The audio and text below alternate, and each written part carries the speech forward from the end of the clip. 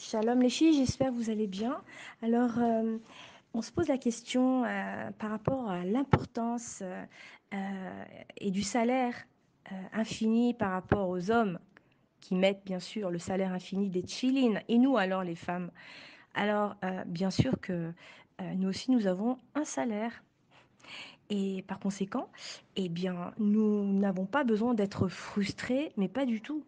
Et je vais vous dire pourquoi. Euh, en fait, euh, à partir du moment où euh, nous allons nous marier, d'accord, eh bien, il est bien connu une tradition que la femme va partager à part égale le salaire des mitzvot de son mari. Oui. Donc, c'est très important donc de se marier et par conséquent, nous aurons déjà acquis euh, 50% du salaire.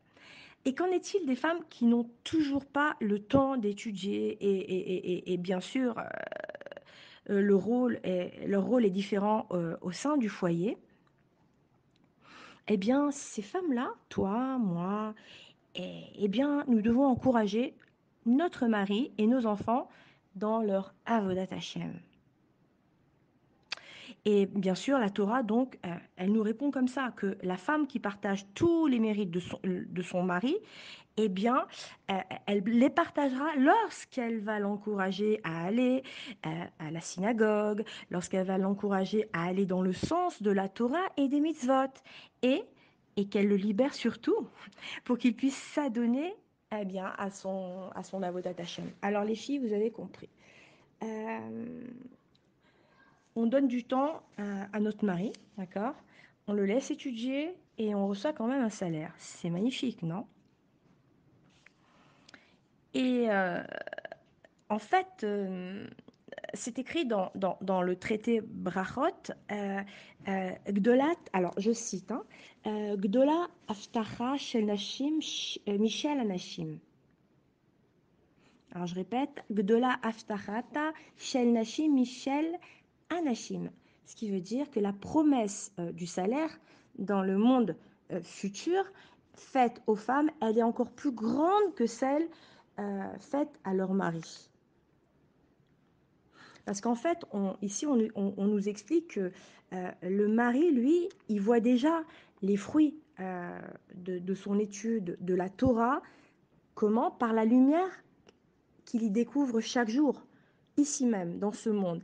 Alors que la femme, elle, elle reçoit toute sa récompense, eh bien, où? Dans le monde à venir, dans le monde de la vérité. Et, euh, et, d'autres commentateurs euh, nous expliquent qu'une femme qui prend sur elle, par exemple, euh, la charge du foyer, qui va s'occuper aussi de la subsistance, une partie de la subsistance, on va dire, s'occuper de l'éducation de ses enfants, comme, comme nous encourage le, le la femme vertueuse du, du, du, du, du roi Shlomo Améler, bien sûr, de, de, de Shlomo Améler, eh bien, euh, afin de, pourquoi En fait, de, de pouvoir permettre à son, à son mari euh, de s'investir de tout son cœur dans l'étude de la Torah. Eh bien, elle recevra donc son salaire, même également si son mari ne s'est pas investi à fond dans la Torah, dans l'étude de la Torah. Et donc, euh, euh, on va dire que Hachem s'est adressé d'abord à nous, les femmes, euh, lorsqu'il, lors, lors du don de la Torah. Et vous savez pourquoi? Parce que nous, nous sommes des femmes et, et, bien sûr, nous sommes responsables euh, de pousser aussi notre mari à aller étudier, lui donner du temps. Et nous apprenons aussi du verset des Télim, c'est écrit Shalom Rav Leoave Torah Techa, une grande, paix, une grande bénédiction à ceux qui aiment la Torah. Et bien sûr, il s'agit, euh, nos commentateurs nous disent qu'il s'agit, euh, nous disent qu'il s'agit des femmes qui chérissent la Torah. Alors nous, bien sûr, nous devons chérir la Torah.